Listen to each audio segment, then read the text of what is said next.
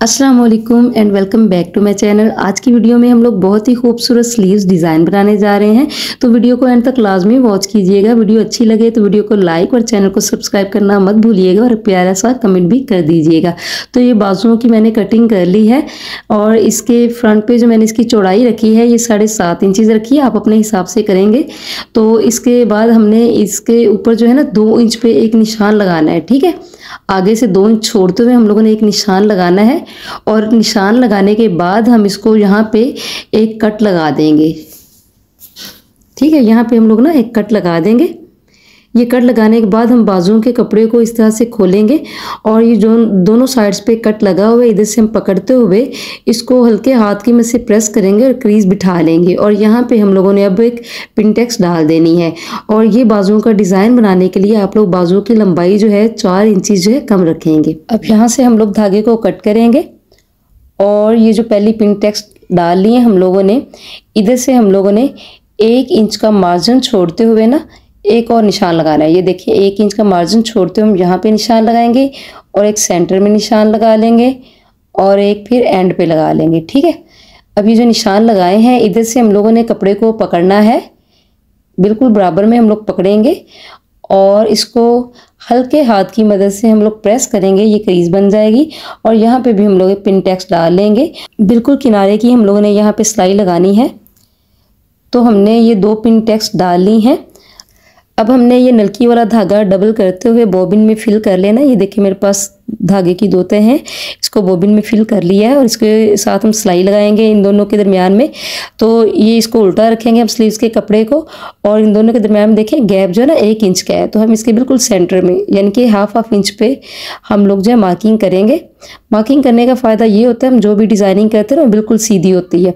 तो अब ये जो मार्किंग किया है ना इसके ऊपर ऊपर हम लोग जो है सिलाई चला लेंगे, ठीक है? स्लीव्स के कपड़े को उल्टा रखते हुए हम लोग सिलाई लगाएँगे क्योंकि बॉबिन में हमने डबल धागा फिल किया हुआ है। तो ये जो है ना मैंने कंट्रास्ट धागा यूज़ किया बॉबिन में। तो ये देखिए सिलाई लग चुकी है। अब हम इसको जो है स्लीव्स के कपड़े को साइड पे रखेंगे और हमने एक कपड़े का और पीस लिया है। इसकी जो लंबाई है, ये मैंने 18 इंचज़ ली है और इसकी चौड़ाई जो है ये तीन इंचज़ ली है, ठीक है? और इसके बाद हम लोगों ने ना इसको डबल करते हुए इसके ऊपर जो है हम लोगों ने एक एक इंच पे जो है मार्किंग करनी है, ठीक है? इधर से एक एक इंच पे हम लोग जो है निशान लगाएँगे। ये एक एक इंच पे हम लोगों ने मार्किंग कर ली है। इसके बाद हम लोगों ने सेंटर में भी मार्किंग कर लेने उसको डबल करते हुए ये जो निशान लगाए हैं इनके ऊपर छोटे छोटे कट्स लगा देने ताकि हमारी मार्किंग जो है ना, दोनों साइडों पे हो जाए। और इधर सेंटर में भी हम लोग ये कट लगा देंगे। अब इस कपड़े को हम लोगों ने खोलना है। अब ये देखिए जो कट्स लग चुके हैं इन पे आसानी से हम लोग जो है ना अपनी पिन टैक्स डाल लेंगे। और इस तरह से बिल्कुल सीधी जो है पिन टैक्स डालेंगे, बिल्कुल तिरछी नहीं होगी। इसको हाथ के में से प्रेस करेंगे और किनारे की सिलाई लगाएँगे। क्योंकि हम लोगों ने कट्स लगाए हुए हैं तो हम दूसरी साइड से भी जो है पिन टैक्स डालते जाएँगे। इधर हमने बिल्कुल कट से पकड़ते हुए बराबर यहाँ पर सिलाई चला लेनी है। और इस तरह से हम लोग धागा एक साइड से कट करते जाएँगे। और जो है पिन डालते जाएँगे। मार्किंग का फ़ायदा ये होता है कि हमारी जो है डिज़ाइनिंग में बहुत सफ़ाई आती है और जो है ना हम आसानी से डिज़ाइनिंग कर लेते हैं। मार्किंग ना की हो तो फिर ये डिज़ाइनिंग जो है पिन टेक्स जो होती हैं बिल्कुल सीधी डालने में बहुत मसला होता है। तो यहाँ से हम लोग जो है धागे को कट कर लेंगे। इस तरह से हम लोगों ने सारी जो है पिन बारी बारी जो है डाल लेनी है। सारे कट्स के बराबर में। तो यहाँ से हम धागे को कट करेंगे। तो ये सारी पिन टैक्स देखें, हमने एक सीध में बिल्कुल डाल ली हैं। तो अब हम इसको साइड पे करेंगे। अब मेरे पास ये ऑर्गेन्जा का फैब्रिक है और इसकी जो लंबाई है ना, ये बाजुओं की चौड़ाई के बराबर है, ठीक है? पंद्रह इंचज़ इसकी लंबाई है और तीन इंचज़ इसकी जो है, ये चौड़ाई है। अब हमने इस ऑर्गेन्जा वाले फैब्रिक के ऊपर ये ट्रायंगल्स को अटैच करना है। ये ट्रायंगल्स के लिए मैंने ये कंट्रास्ट कपड़ा लिया था, जिनकी लंबाई चौड़ाई बराबर है। इनकी आप देख सकते हैं, लंबाई भी तीन इंचज़ है और चौड़ाई भी तीन इंचज़ है, ठीक है? ये सारी ट्रायंगल्स इन्हीं से मैंने रेडी की हैं। इनको इस तरह से डबल करते हुए अगेन हमने डबल करना है तो ये ट्राइंगल्स रेडी हो जाएँगी। तो इस तरह से ट्रायंगल्स बनाते हुए मैंने इन सब ट्रायंगल्स को प्रेस कर लिया है। अब नीचे हम लोग ये कंट्रास्ट कपड़े की ट्रायंगल को रखेंगे और ऊपर स्लीव्स के साथ वाले कपड़े की ट्रायंगल को रखेंगे। और इस तरह से बिल्कुल साथ रखते हुए यहाँ पे हम लोगों ने सिलाई लगा लेनी है। ये सिलाई लगाते जाएँगे। इस तरह से ये नीचे रखते हुए और दूसरी ट्रायंगल को ऊपर रखते हुए हम लोगों ने यहाँ पे सिलाई लगा लेनी है। और सारी ट्रायंगल्स को हम लोग जो है ऑर्गेन्जा के फैब्रिक के ऊपर अटैच इसी तरह से कर लेंगे। बिल्कुल हमने इनको बराबर में रखते जाना है और सिलाई लगाते जाना है, ठीक है? इस तरह से हम लोग कॉर्नर्स के ऊपर थोड़ा थोड़ा रखते हुए यहाँ पे सिलाई लगा लेंगे और सारी ट्रायंगल्स को इधर हम लोग सिलाई कर लेंगे। अब ये सारी ट्रायंगल्स को मैंने रेडी कर लिया है। अब हमने स्लीव्स के कपड़े के ऊपर इसको उल्टा रखते हुए एक इंच का आगे से हमने मार्जिन छोड़ना है कपड़े का और इसको उल्टा रखते हुए यहाँ पे हमने सिलाई के ऊपर सिलाई चला देनी है, ठीक है? यहाँ पे हम लोग सिलाई चला लेंगे। और स्लीव्स के आगे से हम लोगों ने एक इंच का कपड़ा जो है ना रखना है एक्स्ट्रा ये देखिए, एक इंच का कपड़ा छोड़ते हुए मैंने उसके ऊपर रखा और सिलाई लगा ली है। और यहाँ से अब हम लोग एक्स्ट्रा कपड़े को हम लोग यहाँ से फोल्ड करेंगे और यहाँ पे फोल्ड करने के बाद यहाँ पे भी हम लोग जो है सिलाई चला लेंगे, ठीक है? इस तरह से हम लोग यहाँ पे सिलाई लगा लेंगे, यहाँ पे सिलाई लगाएँगे और हाथ की मदद से इस कपड़े को सेट करते जाना है हम लोगों ने और यहाँ पे हम लोग सिलाई लगा लेंगे। यहाँ से धागे को हम कट करेंगे।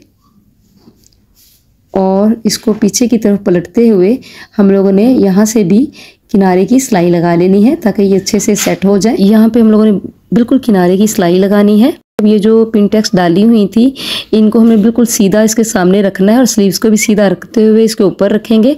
और यहाँ पे सेट करते हुए हम लोगों ने सिलाई की मदद से इन दोनों कपड़ों को अटैच कर लेना है, ठीक है? ये पिनटेक्स वाले कपड़े को मैंने नीचे रखा स्लीव्स वाले को ऊपर रखते हुए यहाँ पर सिलाई लगा ली है। अब ये सिलाई लगाने के बाद हम लोगों ने इसको सीधा कर लेना है और इस कपड़े को या तो आप इस्त्री कर लें, अगर इस्त्री नहीं तो मैं यहाँ पर सिलाई लगा रही हूँ। सिलाई लगाने के बाद हम धागे को यहाँ से कट करेंगे और इसको हाफ़ हाफ़ इंच जो है ना अंदर की तरफ़ फोल्ड करते हुए मैंने प्रेस कर लिया ये देखें आप प्रेस करने के बाद हमने ऊपर की तरफ़ इस कपड़े को रखना है और यहाँ पे सिलाई लगा लेनी है किनारे की। यहाँ पे बिल्कुल किनारे की सिलाई हम लोगों ने लगानी है। और ये जो ट्रायंगल्स के नोके हैं, इनको पीछे की तरफ़ फोल्ड कर लें ताकि इनके ऊपर सिलाई ना लगे। और ये सिलाई लग चुकी है। अब हम धागे को और एक्स्ट्रा कपड़े को यहाँ से कट करेंगे। अब ये जो हमारे पास ट्रायंगल्स हैं, इनको पीछे की तरफ़ हम लोगों ने मोड़ना है। इस तरह से ना सारी ट्रायंगल्स को पीछे की तरफ़ मोड़ेंगे और इनके जो कॉर्नर्स हैं, इनके ऊपर हम लोगों ने पर्ल्स लगाने हैं, ठीक है? ये मेरे पास पर्ल्स हैं तो इनको पीछे की तरफ़ मोड़ते हुए इधर मैंने पर्ल्स लगा लेने हैं। सुई धागे की मदद से मैं आपको लगा के दिखाती हूँ। अभी जो ट्रायंगल है, इसको पीछे की तरफ़ मोड़ते हुए इधर से हम लोगों ने सुई को निकालना है और इसमें पर्ल ऐड कर देना है और यहाँ से इसको हम लोगों ने टांके को पक्का कर लेना है ताकि हमारा पर मज़बूती से लग जाए और यहाँ से हम धागे को कट करेंगे। इसी तरह से हम लोग जो है इस दूसरी ट्रायंगल को भी पीछे की तरफ़ मोड़ेंगे और यहाँ से सुई को निकालते हुए, बिल्कुल इसके कोने से सुई को निकालना है और इसमें पर्ल ऐड कर देना है और यहाँ से हम अपने टांके को पक्का करेंगे और धागे को यहाँ से हम लोगों ने कट कर देना है। इसी तरीके से हम लोगों ने सारी ट्रायंगल्स पे बारी बारी पर्स लगा लेने हैं। तो ये हमारे डिज़ाइन की फाइनल लुक है, जो कि बहुत ही खूबसूरत और नफीस है। ये कोनों पे भी मैंने टांके लगा ली हैं और ये हमारे स्लीव्स की बैक साइड है और यहाँ भी आप देख सकते हैं कि बिल्कुल गुम सिलाई में हमारा डिज़ाइन रेडी हुआ है। तो माशाला से बहुत ही दिखने में भी खूबसूरत और पहनने में भी खूबसूरत लगेगा।